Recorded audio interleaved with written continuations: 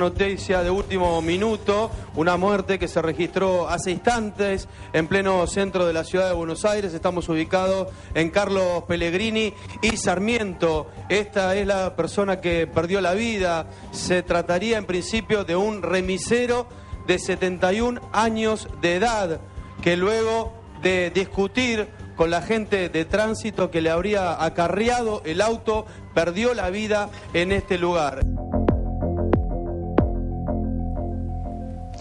Gracias por estar junto a nosotros. Una víctima, un disgusto, 71 años, de la provincia de Buenos Aires, este hombre, estaba trabajando.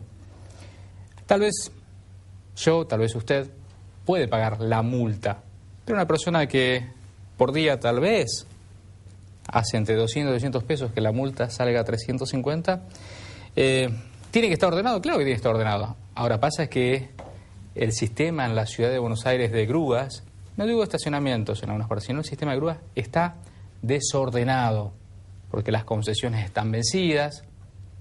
Tenemos una situación muy extraña en Puerto Madero, no están dentro de los pliegos de concesiones que están vencidos y ahora se está eh, pudiendo llevar adelante el acarreo en Puerto Madero. Así está la situación. Por eso esta semana, Noticias Urbanas del Semanario eh, eligió como portada, es decir, el tema, ¿no? Grúas fuera de control. Tenemos la muerte y también un poco quiénes están detrás de, mm, de este negocio. Que la palabra negocio no está mal, está bien que haya un negocio, una concesión pública. El punto es que están vencidos y se vienen prorrogando, se vienen prorrogando. En el 2011 hubo una ley, la 4003, que decía si en el término de un año no hay la sanción de un nuevo pliego, no está aprobado, legislatura, Poder Ejecutivo, se concede y hay unas personas que dicen, señores, nosotros tenemos la capacidad para operar este negocio, eh, pasaban al Estado. Ni una cosa ni la otra. Tenemos a, a una empresa que se conoce como SEC y otra como STO. Un ratito vamos a estar hablando de ellos y de un tal Bernie. Algunos dicen que es el Bernie malo ¿Quién será Bernie? Bueno, vamos a estar hablando un poco de esto. Norman, ¿cómo estás? Buenas noches, Jorge, ¿cómo va? Estamos. Norman Rosenthal. Estamos. Bueno, un tema bastante impactante, ¿no? Sí, totalmente.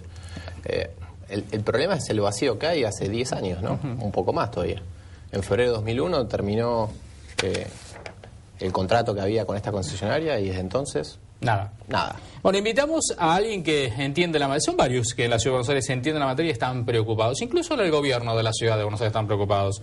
Yo recuerdo que en la legislatura están los pliegos ya. Y hay gente que está trabajando en la comisión de, tránsito y transporte sobre los nuevos pliegos que cambian la ecuación económica. Alguien, evidentemente, los está trabando. ¿Será Bernie? ¿Será el lobby de Bernie? El Bernie malo, ojo. Eh, Epstein Gracias por venir. ¿eh? No, gracias por invitarme. bueno, Eduardo es, eh, es auditor, fue legislador, conoce eh, cómo se maneja el Estado en la ciudad de Buenos Aires. ¿Qué sabemos hoy de, de este negocio, de este servicio de tránsito? Bueno, un poco recién ustedes lo planteaban bien. Está más que desordenado, diría yo, está absolutamente en una situación absolutamente irregular. ¿Por qué irregular?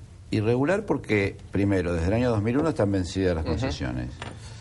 Eh, segundo, porque a lo largo del tiempo van consiguiendo renegociaciones de algo que está vencido. O sea, estas dos empresas consiguieron renegociar con el gobierno de la Ciudad de Buenos Aires en el año 2008, en el año 2009, en el año 2011 y en el año 2012. ¿La renegociación que es que aumentan el costo del acarreo? Renegociaciones de todo tipo, no solamente... no, no, no es el aumento del costo del acarreo, sino renegociaciones en términos de que eh, siempre estas empresas están endeudadas porque tienen problemas... Ah, de partidas. Es que ellos tienen problemas de pago. Por ejemplo, el gobierno eh, se está haciendo cargo de los costos operativos de estas empresas. Estas empresas cobran por el acarreo... ¿Cómo sería? ¿No sería que eh, cuando se cobra un acarreo, esa plata vaya al Estado, colegios, hospitales. Sería, en la práctica, en este caso particular, el acarreo prácticamente en su totalidad calculemos alrededor de 10 millones de pesos. Están, se supone que están, están, están este, Usted me dice 10 millones de pesos es la facturación. más o menos por mes. Por mes. Eh, De ahí cincu- al De Estado al Estado vuelven 55 mil pesos.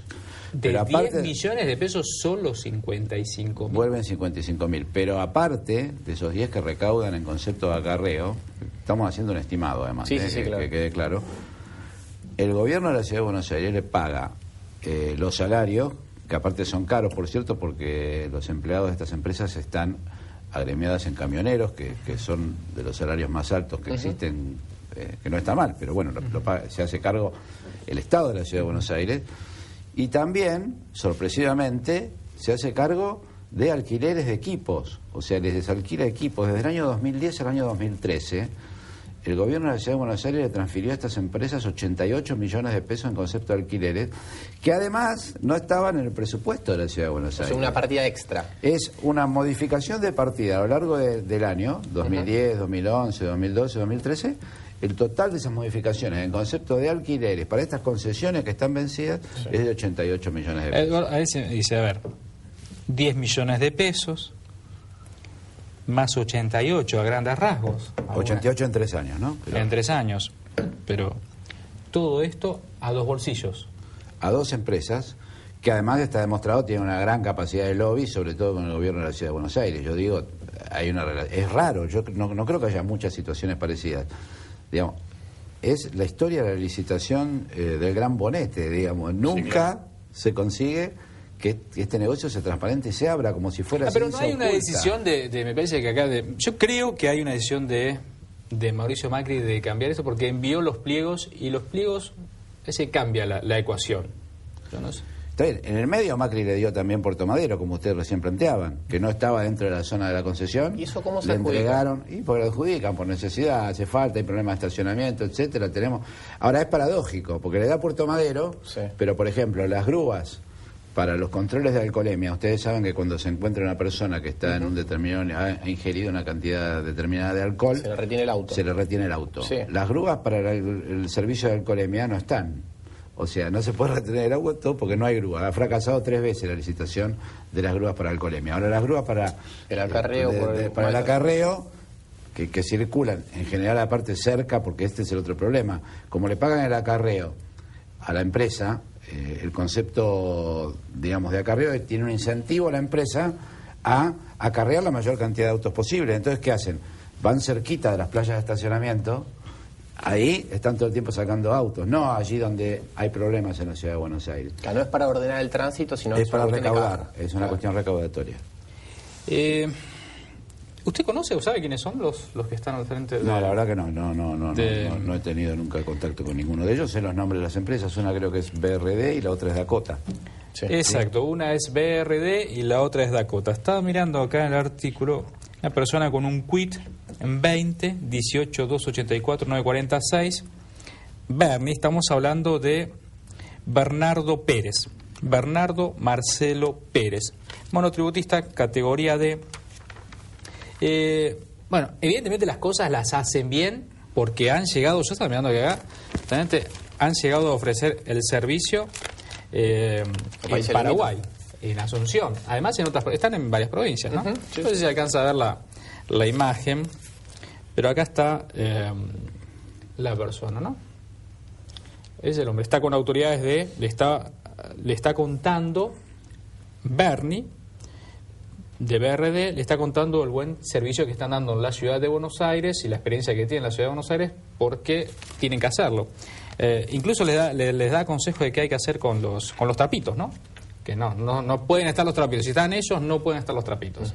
Así que eh, bastante interesante toda esta... Y, y desde la auditoría, ¿qué, qué se hace? ¿Qué, qué pueden hacer con, con esto? No, la auditoría, digamos, lo que hace es un trabajo de auditoría que, que está vinculado con un plan de auditoría que se aprueba en la legislatura todos los años. La verdad que hace tiempo que la legislatura no nos ha instruido en el sentido de auditar estos contratos. Hay un contrato, hay un informe bastante antiguo que Sí. ya daba cuenta de esta situación que no se ha modificado sustancialmente. En realidad se ha, se ha modificado para peor. O sea, desde el último informe de auditoría que planteaba Sí. el vencimiento de los contratos, etcétera, para peor digo porque se le, se le han ampliado zonas, se le han reconocido gastos. Digamos, la- la- estas empresas han crecido en su relación con el gobierno de la Ciudad de Buenos Aires, lejos de eh, abrirse el negocio, transparentarse y legalizarse, porque en realidad, digamos, esta es la cuestión. Digamos, lo que hay que hacer es licitarlo. La legislatura, aparte, llegó a sacar, como bien decían ustedes, una ley, porque ¿Y está con bien esa ley qué pasó? Y la volvieron a prorrogar este año. En realidad se venció la ley Sí. y los pliegos no estaban. Hubo cuatro días durante los cuales el gobierno de la ciudad debió haber estatizado, porque esos cuatro días, Hacerse cargo del servicio. claro, debió retomar el servicio porque esos cuatro días, digamos, se había cumplido el plazo que había planteado la- de un año la legislatura en la ley y no se había cumplido con el proceso licitatorio, con lo cual debió haberse estatizado. Sí. Durante cuatro días el gobierno de la ciudad no hizo nada y luego el gobierno del ingeniero Macri consiguió a través de las mayorías que, con las que cuenta en, en la legislatura una nueva prórroga de un año. Bueno, ahí queda planteado entonces la, la situación de las grúas. Insisto, yo creo, creo que, que tiene que estar ordenado y tiene que haber un servicio. Mm, los nuevos pliegos hablan de un servicio que va a pagar un canon, que va a pagar por ese servicio la ciudad, y no con la ecuación actual que es, según el acarreo, un porcentaje. Igualmente, eso, evidentemente, o por lo menos nos genera duda ver cómo está funcionando y va a haber cinco zonas en la ciudad de Buenos Aires. Evidentemente también van a avanzar los parquímetros en más barrios. Es discutible, seguro, mucha gente por ahí va a protestar, pero a ver, la ciudad de Buenos Aires hay que ordenar en el centro. Puerto Madero y tal vez haya que ordenar, habría que revisarlo. Belgrano es un caos, ¿sí? Belgrano, zonas de Palermo, no está ordenado, así que en algún momento me parece que también habría que ver de qué manera se ordena. Hay que ordenar, pero eh, la ciudad está con un problema serio porque se incrementa la cantidad de autos que circulan por la ciudad de Buenos Aires y disminuye la cantidad de lugares de estacionamiento. Pensemos además que con el tema de las bicisendas, con el tema de estos grandes contenedores para los residuos, etcétera, cada vez se reducen más lo que son eh, los espacios para poder estacionar y aparte no se construyen cocheras. Yo creo que hay que tener una idea de planeamiento estratégico de la ciudad en el sentido de modificar esto, porque cada vez hay más autos y cada vez hay menos lugar para estacionar. Sin duda. Muchísimas gracias por habernos acompañado. Gracias vamos a estar seguramente consultando sobre este tema. Usted no se vaya. En breve vamos a estar, claro, las elecciones. No nos olvidamos de las elecciones. 27 de octubre y nos hemos propuesto en los programas, por lo menos hasta que podamos ahí, hasta el día anterior, el fin de semana anterior, ir otra vez hablando con los candidatos. Así que tenemos algunos de ellos aquí.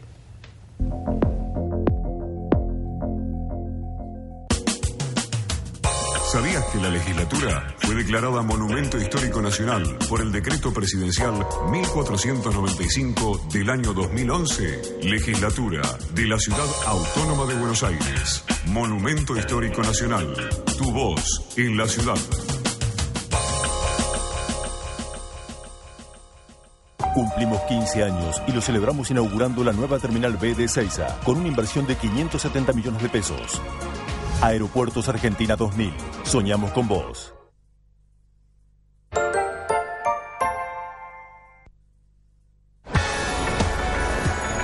¿Sabías que podés hacerte controles de salud gratuitos en los hospitales públicos de la ciudad y en cualquiera de los centros de salud y acción comunitaria que están en los barrios? En la ciudad, la salud es prioridad. Por eso es pública, gratuita y de calidad. Buenos Aires Ciudad, en todo estás vos. ¿Qué hacemos con los escombros? Si tenemos escombros para tirar, no los tiremos en el contenedor, porque se mezclan con la basura común, rompen las bolsas y el contenedor mismo. Si tenemos escombros, llamemos al 147 para que pasen a retirarlos por casa gratis. Entre todos, podemos tener una ciudad cada vez más limpia. Buenos Aires Ciudad, en todo estás vos.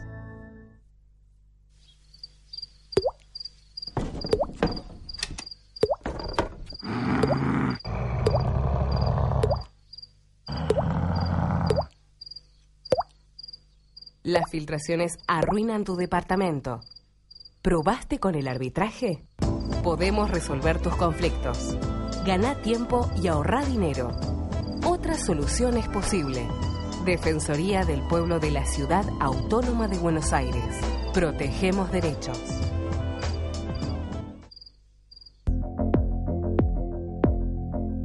Muy bien, a ver. Vamos a mirar, te quiero invitar a mirar una foto. A ver, yo estoy mirando acá porque estoy queriendo mirar la pantalla. A ver si- ahí estamos. Jefe de gobierno, Mauricio Macri, y el Santo Padre. ¿Te acordás que era el cardenal Bergoglio, el, el cardenal- el- el arzobispo de la ciudad de Buenos Aires? Francisco. Exacto, Francisco. Seis meses al frente de el Vaticano, el obispado de Roma. Hombre fuerte de, de la Iglesia hoy. Eh, bueno, cumplió cuando se había dado justamente los actos en su momento de, de asunción, de toma de posesión. eh, ¿Qué le había dicho Francisco cuando lo vio a Macri? ¿Te acordás que hubo una comitiva en donde estaba Cristina Kirchner, habían ido diferentes personas, no estaba Macri en esa comitiva oficial. Pero él se las ingenió, hubo alguien que ayudó, estuvo ahí un costadito, estuvo. Sí, sí, sí. ¿Y qué dijo? Francisco, bueno, venite.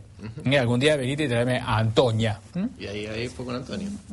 Así que ahí está la imagen donde, donde se vio. eh, así que tiene su foto. Casi todos los que querían tener su foto y tenían algún tipo de relación previa con el Santo Padre, eh, fueron obteniéndolas, ¿no? Es como una visita de rigor. Sí, cualquiera. Ahora va de una, de- dicen que la- una de las, las embajadas más importantes de la Argentina. Antes nadie le daba valor justamente a la, a la de Roma. Ahora todos quieren estar allá, Roma, Vaticano. Las embajadas estar ahí. Bueno, la cuestión es que estuvo. Eh, Macri estuvo muy prudente. ¿eh? En la reunión fueron temas privados. Dijo no estuvimos hablando de nada. Me, me comentó, está muy preocupado por, por la paz mundial. Eh, yo en esto quiero destacar eh, el trabajo de, que está llevando adelante el Santo Padre, digamos, no ha hablado de forma directa, pero sí hizo llegar eh, cartas, menciones, fue en el grupo de los 20, a todo tratando de decirle, traten de profundizar el diálogo y evitar lo que podía ser una intervención militar, ya sea por parte de Estados Unidos o en bloque con otros países en Siria. Siria que está bajo una guerra eh, civil. Lo mismo le pidió a Siria, ¿no? En este caso al dictador Bashar al-Assad.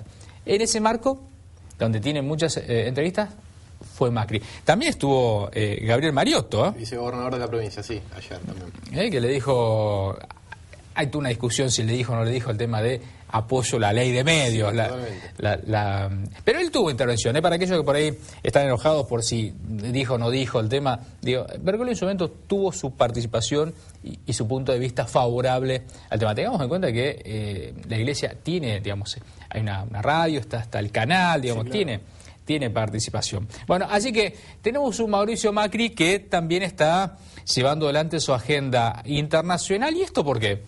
Nosotros decíamos en el bloque anterior, están las elecciones y no se quiere quedar atrás, nadie se quiere quedar atrás en materia de decir, a ver, ¿con quién me puedo mostrar? ¿Qué puedo hacer? ¿Para dónde eh, llevar eh, mi estrategia? Conocen que el PRO tiene que disputar las elecciones en la ciudad, tiene que ratificar.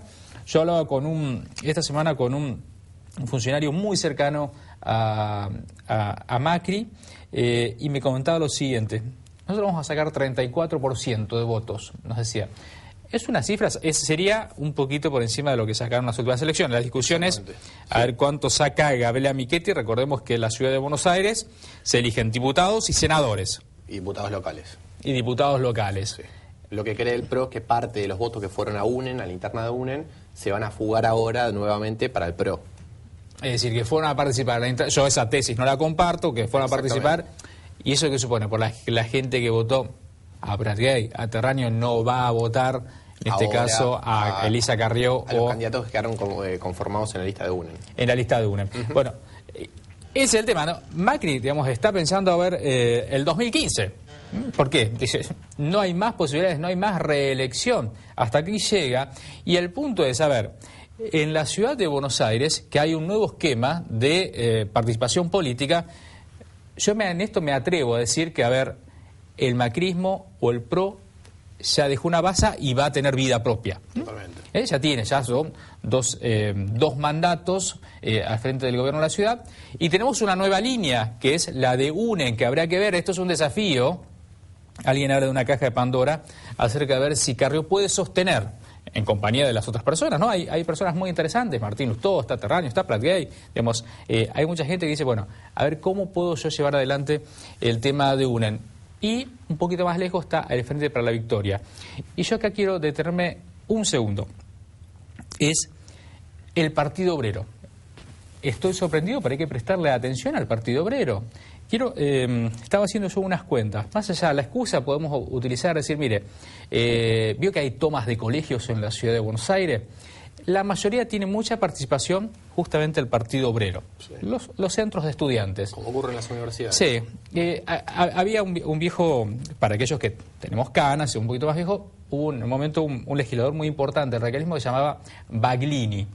Eh, y estaba el famoso teorema de Baglini, ¿no? Que de joven uno es de izquierda y grande se hace de derecha. ¿Cuál es esta discusión? El tema es que no solamente es en los centros de estudiantes y más allá de las tomas y se puede cuestionar la toma, sino que los centros de estudiantes de la universidad, que siempre fue territorio de franja morada o del radicalismo con la vuelta de la democracia, eh, sobre... eh, esto es un fenómeno en la ciudad de Buenos Aires, ¿eh? no, no, no, no ocurre en las provincias. Pero tenemos que de las 13 facultades, 8 hoy están manejadas por el Partido Obrero. Exactamente. Y se va a discutir centro de ingenieros, el de, ingen- de ingeniería, También. y que también tiene chance. Esto puede ser jóvenes, adolescentes en transición a adultos, pero vamos al mundo de los adultos. Elecciones en la ciudad de Buenos Aires, cerca del 5% de los votos. Sí, una gran Interesante. elección. Sí. En la provincia de Buenos Aires hizo una buena elección. En Salta, 12% en Capital Salta. Buena elección en Neuquén, buena elección en Mendoza. Digo, cuando digo buena elección es porque tienen posibilidades de que ingresen legisladores locales y está la posibilidad de que haya algún diputado nacional. Algunos hablan de un bloque del Partido Obrero entre dos y tres legisladores. Yo no sé si va a ocurrir tan así, pero hay serias chances. Ahora, en la Argentina, que hablamos de una democracia occidental, prestemos atención qué piensa el Partido Obrero. A mí me encanta que la democracia en este caso le dé lugar, como en su momento le dio lugar a Rico. Lugar. Ahora, no vamos a tener más Casa Rosada, si, si fuera el Partido Obrero eh, gobierno, ¿no? Digamos, es interesante esta- este, este debate, ¿no? En esa actualización de doctrina, no, digamos, va a ser todo el poder en el Congreso. Todo el poder del Congreso.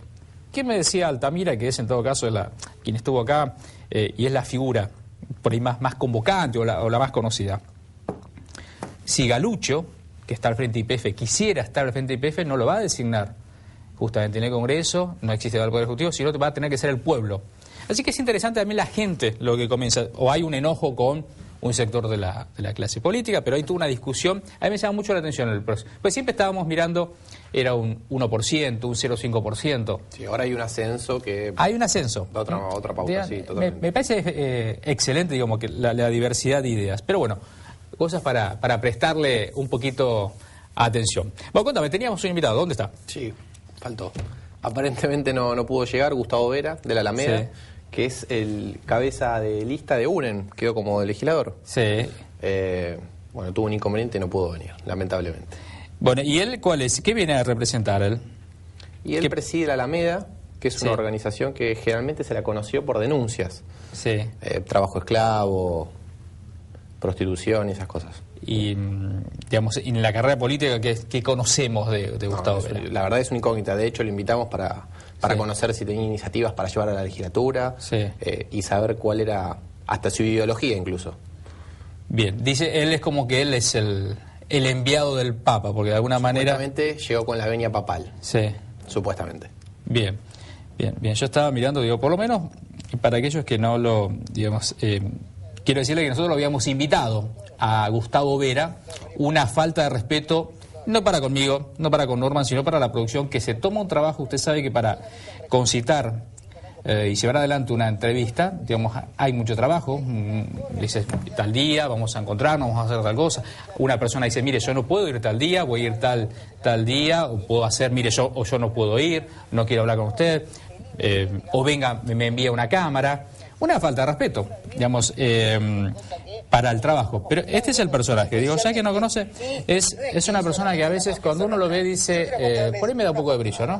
está dentro de ¿Eh? una causa judicial en la que somos creyentes. Ya que no lo tengo, veo- él hace Este esto. Hay lugares en donde por ahí está más cómodo y en lugares tal vez donde no se En sienta más cómodo. 2011. Acá lo encontramos. Evidentemente, es un momento donde él se encuentra más cómodo denunciada por de esta situación, ¿no? Con la denuncia. Yo quería preguntarle qué piensa. Más allá que me parece interesante las, las denuncias, cómo tiene el acceso a las denuncias, cómo llega a las denuncias, ¿qué piensa? Pues la verdad que eh, en la política uno tiene que ir conociendo a los personajes y qué es lo que van haciendo, eh, un poco su, su perfil, eh, qué propuestas, qué tipo de ideas. No, verdaderamente por ahora es una incógnita. Sinceramente es una incógnita. De hecho, después de esa presentación televisiva que estabas mostrando vos, eh, en un en- en- algunos intentaron ensayar eh, la propuesta de Prat Guy. Es decir, más allá de que había quedado fuera de las PASO, traerlo, mostrarlo como prenda de, de unión además, y decir, bueno, que encabece él eh, y No, evitamos... yo antes, esto fue justamente, me, me había confirmado que estaba eh, el día mm, miércoles estaba. Entonces, eh, una persona trabaja en, en, en una, yo le comenté, sí, mira, estamos pensando, entonces, me dice, dije, no comparto, me dice, es un loco. Dije, no, no voy a... No, digo, no, nada que ver, ¿cómo hace un loco? Si es el primer legislador. Eh, dije, obviamente no hablé más con esta persona, me dice, es un loco. No, no es un loco, es el primer candidato a legislador. Dice, es un loco que anda con chal... No, dije, no, no voy a aceptarlo. Te quedaste Así, sin una fuente ahí. Perdí. Pero vamos a hablar ya en algún momento, vamos a tener la posibilidad de hablar con Gustavo Vera. Ojalá, Dios quiera. Sí. Esto ha sido todo por hoy. Señores, si Dios quiere, el próximo viernes nos volvemos a encontrar y ya estamos en campaña. ¿eh? Hoy, 22, día oficial. Camino al 27 de octubre. Nos vemos. Gracias.